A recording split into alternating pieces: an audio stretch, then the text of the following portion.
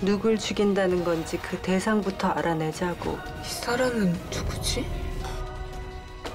함정인 거 뻔히 아는데 제 발로 기어 들어가는 꼴이잖아. 어쩔 수 없어 임마 지금 어차피 너랑 나 다시 못 돌아가 임마 그게 함정이든 지옥이든 아들 뭐하러? 총기 사용 허가합니다. 나 알죠. 너 어떻게 살아있는 거냐? 지금 뭐야 나? 상관없어. 다시 죽여버리면 되니까.